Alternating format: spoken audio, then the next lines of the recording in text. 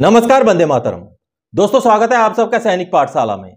दोस्तों, जब आप पेंशन आउट हो रहे थे, क्या आपको सही सही पेंशन मिला? क्या आप अपना एंटाइटल्ड हक के हिसाब से जितना पेंशन आपका बनता है, उतना पेंशन लेके आए हैं? दोस्तों, अमूमन कई सारे डिफेंस पेंशनर के साथ ये देखा गया है कि उनको अपना जितना हक उनका बनता है, उतना पेंशन नहीं मिला है। कई सारे पेंशनर्स के साथ ये होता है कि उनको उनके जूनियर से भी कम पेंशन मिल रहा है। कई के साथ ये होता है कि उनको एमएससीपी का फ़ायदा तो मिला है, लेकिन पेंशन में वो इंक्लूड नहीं किया गया। और कई सारे पेंशनर्स का एफएसए जारी करते समय हैवी अमाउंट का रिकवरी हो जाता है। तो क्या आपके साथ भी ऐसा ही हुआ है? कई सारे पेंशनर्स हैं दोस्तों, उसके बाद जब पेंशन चले जाते हैं, वो सो जाते हैं। बिल्कुल जो मिल रहा है उसको लेकर के पड़े रहते हैं। लेकिन कई पेंशनर हैं जो जागते हैं, अपना हक लेने के लिए लड़ते हैं और अपना हक लेके छोड़ते हैं।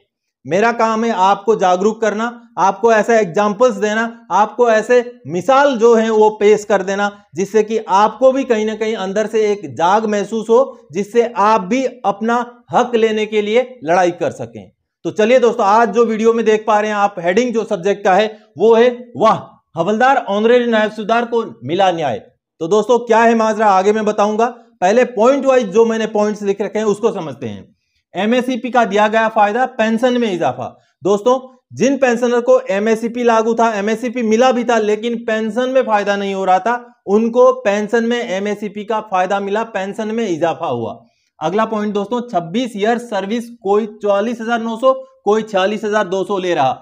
26 साल की सर्विस में जब वो थे, हवलदार थे, जब वो पेंशन आउट हो रहे थे, उनका बेसिक पे जो था चौवालीस हज़ार नौ सौ रुपए। उनके साथ वाले का, उनसे भी जूनियर का था छियालीस हज़ार दो सौ रुपए। जिसकी वजह से उनके पेंशन में भी कटौती हुई। चौवालीस हज़ार नौ सौ के हिसाब से जब उनको पेंशन मिला तो उनका पेंशन जूनियर से कम रहा, जो अगला पॉइंट आप देख पा रहे हैं जूनियर से भी कम पेंशन यानी कि जो जूनियर छियालीस हज़ार दो सौ रुपए बेसिक पे ले रहे थे, और वो ले रहे थे चौवालीस हज़ार नौ सौ, जिसकी वजह से उनका बेसिक पेंशन में भी कमी आ गई जूनियर से भी कम हो गया बेसिक पेंशन आगे दोस्तों, काटा गया एक लाख छियालीस हज़ार दो सौ पचहत्तर रुपए पेंशन आते समय अब वापस मिलेगा. दोस्तों एफएसए जब जारी हुआ तो उनका पैसा काटा गया था एक लाख छियालीस हज़ार दो सौ पचहत्तर रुपए एफएसए के ज़रिए.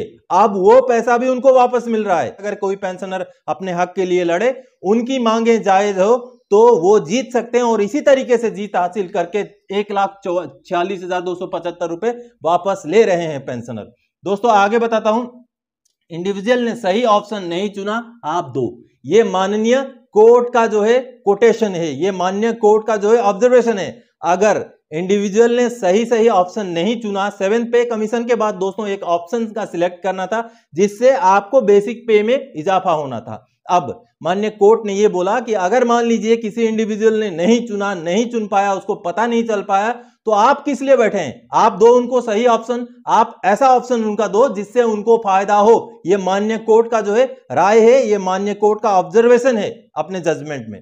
दोस्तों, अगला जो पॉइंट है जूनियर से कम नहीं दे सकते पेंशन मान्य कोर्ट ने यह भी बोला है कि आप किसी भी पेंशनर को उनसे जूनियर से पेंशन नहीं दे सकते, उनके जूनियर से या तो बराबर या तो उससे ऊपर होना ज़रूरी है। दोस्तों, अगला जो पॉइंट है इंडिविजुअल को जानकारी नहीं थी, आपने क्यों नहीं दिया? दोस्तों पीएओआर को मान्य कोर्ट ने यह बोला कि अगर इंडिविजुअल को जानकारी नहीं थी, मान लीजिए ऑप्शन लेना था उन्होंने या गलत ऑप्शन ले लिया तो आप तो बैठे थे। आपको तो पता था कि क्या सही था, क्या गलत था। तो आपने उन इंडिविजुअल को ज़्यादा से ज़्यादा फ़ायदा देने वाला ऑप्शन क्यों नहीं लागू किया? ये मान्य कोर्ट ने तगड़ा जो है पॉइंट दिया है। दोस्तों, अगला जो पॉइंट है ईयरली इंक्रीमेंट भी मिलेगा एमएससीपी को भी इंक्रीमेंट दिया जाए। यानी कि मान लीजिए छह महीने के अंदर आपका अगर ईयरली इंक्रीमेंट भी पड़ रहा है और एमएससीपी या प्रमोशन का भी इंक्रीमेंट पड़ रहा है तो दोनों नहीं दिया जाता है। लेकिन मान्य कोर्ट ने यह आदेश दिया कि दोनों दो ईयरली इंक्रीमेंट भी दो और एमएससीपी या प्रमोशन से जो इंक्रीमेंट मिलता है, वो भी आपको देना पड़ेगा। ये मान्य कोर्ट ने सख्त लहजों में बोला है दोस्तों। अगला जो है पीओआर ने अपने आप क्यों नहीं दिया? यानी कि पीओआर के ऊपर ये क्वेश्चन मार्क है मान्य कोर्ट का, कि पीओआर जब बैठा है, आप किस लिए बैठे हैं? जवानों का अगर वेलफेयर आप नहीं कर सकते, जवान मान लीजिए कोई जानकार नहीं है, किसी को नॉलेज नहीं है कि कौन सा ऑप्शन सिलेक्ट करना है तो आप किस लिए बैठे हैं? आपने सही सही ऑप्शन सही सही उनको इंप्लीमेंटेशन क्यों नहीं कराया? ऐसा मान्य ए लखनऊ बेंच का यह आदेश है दोस्तों। अगला जो पॉइंट है, अब पेंशन भी बढ़ेगा एरियर भी देना पड़ेगा। दोस्तों, माननीय कोर्ट ने सारी बातें सुनी। हवलदार, ऑनरेरी नायब सुविधार भोला शंकर शर्मा जी का ये केस था, जिनको अपने जूनियर से कम पेंशन मिल रहा था, जिनको एमएससीपी का फ़ायदा जो 2018 में उनको मिलना था, वो भी नहीं मिला था। जिसकी वजह से उनके पेंशन में जो है कमी थी और उनका हैवी अमाउंट एक लाख छियालीस हज़ार दो सौ पचहत्तर रुपए एफएसए के समय में काट लिया गया था। अब जब उन्होंने मान्य एफटी लखनऊ बेंच में अपना गुहार लगाया, उस गुहार में मान्य कोर्ट ने सुनवाई करते हुए 9 मई 2023 को एक बड़ा फैसला दिया और मान्य कोर्ट ने पीसीडीए भारत सरकार और रिकॉर्ड्स को भी यह आदेश जारी किया है कि इनका सही सही रिवीजन कीजिए। एक लाख छियालीस हज़ार दो सौ पचहत्तर रुपए जो काटे गए ये, वो वापस कीजिए। एमएससीपी का उनको फ़ायदा दीजिए। एमएससीपी के हिसाब से उनका पेंशन तय कीजिए और साथ ही साथ ये भी इंश्योर कीजिए कि उनका पेंशन उनके जूनियर से कम ना हो।